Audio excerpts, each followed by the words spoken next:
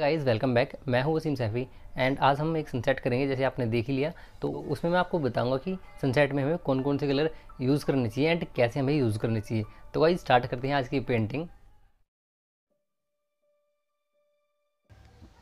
तो गाइस अब हम बात करेंगे सबसे पहले बेसिक ड्राइंग की। सबसे पहले हम बेसिक ड्राइंग कर लेंगे एंड एकदम रफ सा स्केच करेंगे, क्योंकि सनसेट ही करना है, कोई बिल्डिंग वगैरह तो है नहीं कि अच्छी से डिटेल करेंगे।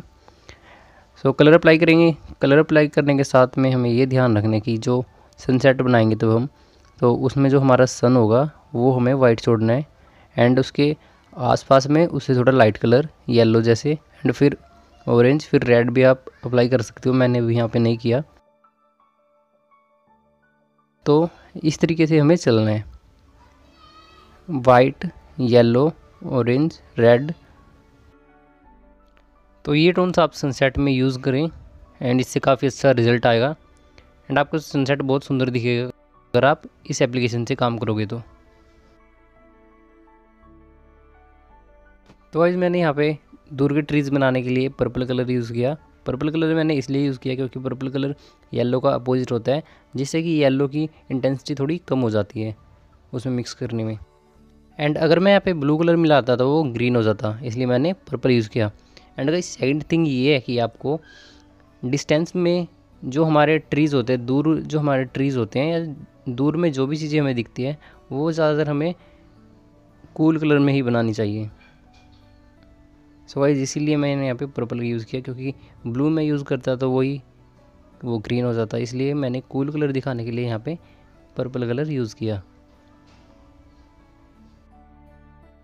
एंड वाटर में कोशिश करें, अगर आपको रिफ्लेक्शन दिखानी है तो आप एग्जैक्ट दिखाएँ, सन उसमें दिखाएँ एंड एकदम आपको फ्रेश दिखाना है, आपने डल नहीं होने देना। मैं कुछ यहाँ पे ड्राई स्टॉक्स यूज़ करूँगा एंड जिससे कि मैं पत्तियाँ निकालूँगा। मैं थोड़े ड्राई स्टॉक्स लगाऊँगा इधर पे एंड जो फोकस है हमारा सामने एंड बैकग्राउंड है तो हमारा पीछे है। तो इसलिए मैं फ्रंट में ज़्यादा काम करूँगा एंड बैकग्राउंड में कम काम करूँगा। तो हमें जस्ट यहाँ पे कुछ नहीं करना है। हमें सिर्फ़ दो चार पत्ते बना देने हैं ऐसे ही। वही आपको पूरा इफ़ेक्ट दे देंगे। बर्ड्स बनाएँगे कुछ, ताकि बैकग्राउंड में भी पता लग सके।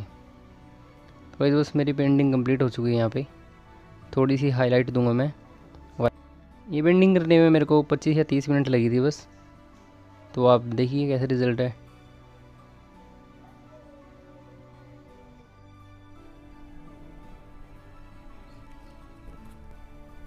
तो वाइज ये मैंने काम किया था यूज़ शीट पे। आई होप आपको पेंटिंग अच्छी लगी होगी। पेंटिंग अच्छी लगी है तो वीडियो को लाइक कीजिए एंड चैनल को सब्सक्राइब कीजिए। तो वाइज मिलते हैं नेक्स्ट वीडियो में।